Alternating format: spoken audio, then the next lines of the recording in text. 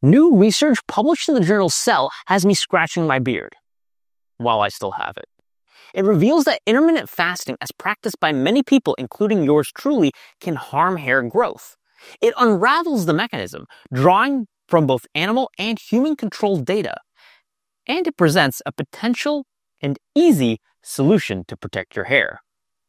I'm going to break down the data, convince you why this all makes sense, share with you the solution, and at the end, you'll get to hear right from the senior researcher himself.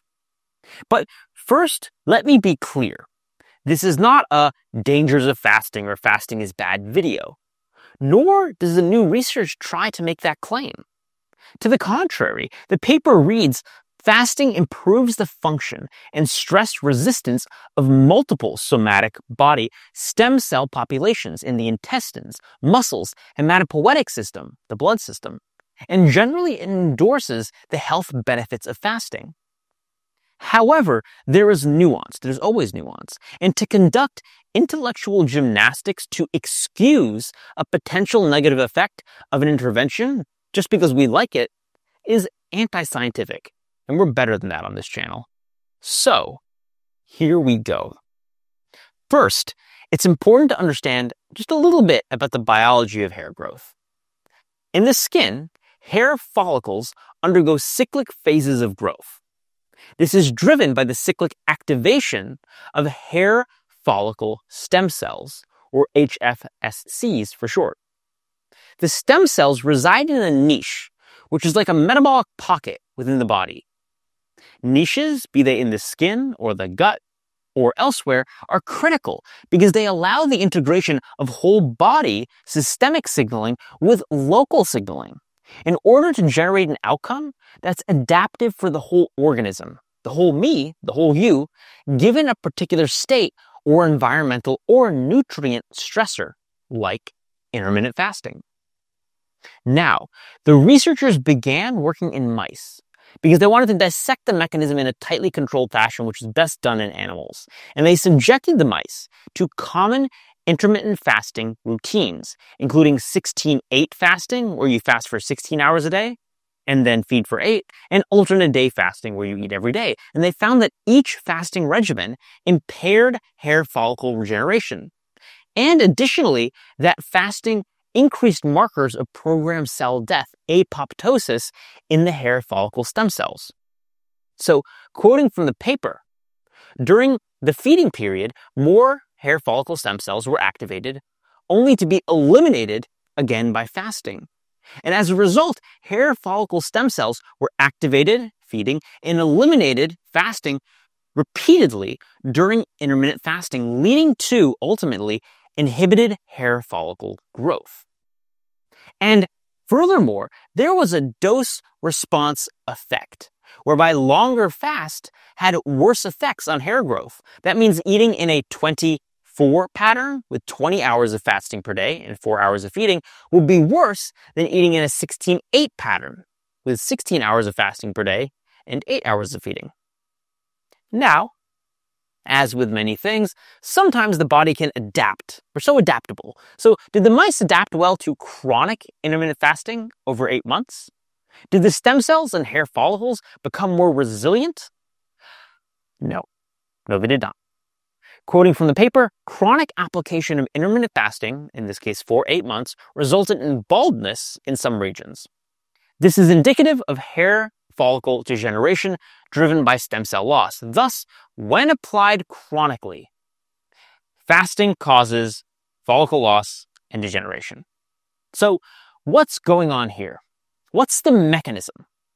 Well, first off, let's get this out of the way. It's not a calorie deprivation problem, since caloric intake was actually largely stable. And the research team concluded, therefore, the apoptosis of the stem cells cannot be attributed to a reduction in total caloric intake. Fascinatingly, they found that the mechanism actually had to do with fat burning, burning more fat linked to burning of the hair follicles, at least metaphorically speaking.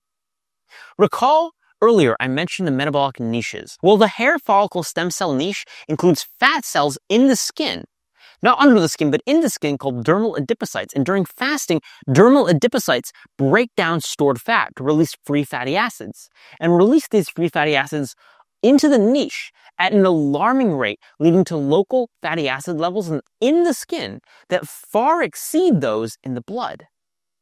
And when the researchers knock out a key enzyme in these skin fat cells, the dermal adipocytes, responsible for fat burning, the enzyme's not really important, but it's called adipose triglyceride lipase, or ATGL is the gene, the effect of fasting on the stem cells was reduced.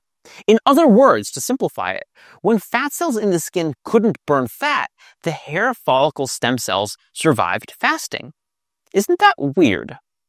They then went on to find that the whole system depends on the adrenal glands. And here's how it works. Upon fasting, leptin levels, leptin is a hormone that's released from fat cells, drop, which signals the brain to activate the hypothalamic pituitary adrenal axis, which tells the adrenals to make stress hormones, epinephrine and cortisol. And those hormones trigger fat burning in those dermal adipocytes, those fat cells in the skin, which then release free fatty acids onto the hair follicle stem cells. In fact, as a cool aside, when the adrenal glands were removed from mice, fasting no longer caused death of the hair follicle stem cells. So it is dependent on the adrenal glands, although I don't recommend having your adrenals removed to spare your hair. I have a better solution for you. Now, the next question is why would fatty acids released from the dermal adipocytes kill the stem cells? And to make a long story short, the metabolism of high levels of free fatty acids in the stem cell niche in the skin overwhelm the mitochondria of very sensitive hair follicle stem cells, leading to oxidative stress, mitochondrial dysfunction, as you see here, and apoptosis, death of the hair follicle stem cells. And that might sound bad, but it's not. It's highly adaptive. Of course, it makes sense that we evolved in such a way that hair growth effectively sacrifices itself as a function during fasting. Since why would we expend valuable energy on regrowing hair when we also want to maintain our gut linings for eventual nutrient replenishment and our skin's barrier function and our immune system function? And also consider this. While oxidative stress and apoptosis, programmed cell death, are elevated in hair follicle stem cells in that niche, systemic whole body oxidative stress was actually reduced with fasting, as measured in the blood. And this discrepancy highlights how metabolic phenomenon can be coordinated across an organism, sometimes in opposite ways in the skin stem cell niche versus the whole body, the blood, to accomplish an overall adaptive outcome for the whole organism. But can anything be done about this? This is probably why you're really watching the video. Or is this just a quirk of biology with which those of us who love fasting will need to tangle? Well, maybe not tangle your hair since you'll be losing it. But anyway, consider this now. The effect is dependent on the metabolism of fatty acids in the skin, generating oxidative stress to a degree that overwhelms the antioxidant capacity in the hair follicle stem cell niche. So, what if you just added some topical antioxidant to bolster the defenses, like some topical vitamin E? In fact, the researchers did just this in their animal models, and lo and behold, it worked. Hair saved with just some topical vitamin E. The author is right. Importantly, we show that enhancing hair follicle stem cell antioxidant ability through external supply of antioxidants can significantly alleviate the inhibitory effect of intermittent fasting on hair follicle regeneration, offering a promising strategy for counteracting its impacts, fasting's impacts on hair growth in humans. Now, I did mention they included human randomized controlled trial data. Indeed, they collected data from 49 healthy individuals subjected to 18-6 intermittent fasting and found it reduced hair regrowth by 18% in association with other changes that paralleled those seen in their mouse model. So it appears this mechanism does generalize to humans. So, what's the actual point here? Am I arguing that fasting will actually make you bald? Like dropping an anvil on your foot will probably break some toes? No, it's not that black and white. It's not that simple. What I am saying is this is legitimate and interesting science that tells us a fascinating metabolic story of how the body's different metabolic niches have evolved to survive environmental challenges, in this case fasting, in a manner that is sensible, adaptive, and oh so biologically beautiful, if I do say so myself. And in understanding these mechanisms, we can leverage them for our own purposes. In this case, it might be as simple as rubbing some antioxidants on your skin as a nice thank you, but no thanks to evolution and natural selection.